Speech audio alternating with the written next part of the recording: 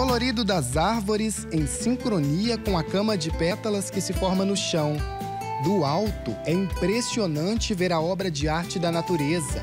Não passa despercebida dos olhares de ninguém. Em tempos de distanciamento, reuniões de famílias de forma segura, no ambiente calmo e cheio de luz, faz esquecer por alguns instantes do pesadelo que vivemos.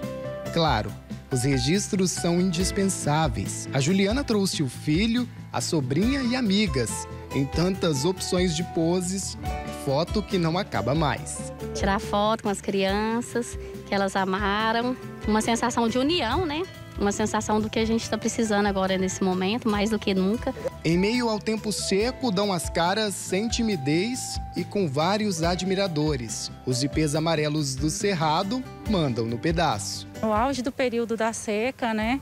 Quando o dia realmente chega a elevadíssimas temperaturas, então o IP vem nos presentear com a sua floração. A floração sempre acontece no mês de agosto, iníciozinho de setembro. É realmente encantador. Os ipês florescem uma vez por ano e apesar do belo cenário, a floração dura apenas uma semana. Essa floração rápida, né, a gente começa a observar a queda das pétalas do, do IP, justamente porque quando vem a floração, a gente tem ali uma fonte de alimentação para o principal polinizador da, do IP, que são as abelhas. Então elas vêm para se alimentar e acabam por polinizar essas flores. E assim que elas são polinizadas, essa peça floral, que é a peça mais vistosa, que são as pétalas, começam a cair para o fruto se desenvolver a partir da flor, a partir do ovário da flor.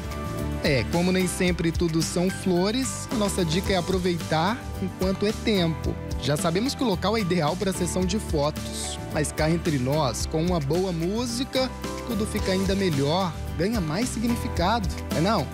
Bem que se quis, depois de tudo ainda ser feliz. Mas já não há caminhos para voltar. E o que é que a vida fez da nossa vida? E o que é que a gente não faz por amor? Amor, né? O que a gente está precisando, esperança nesses dias de agora.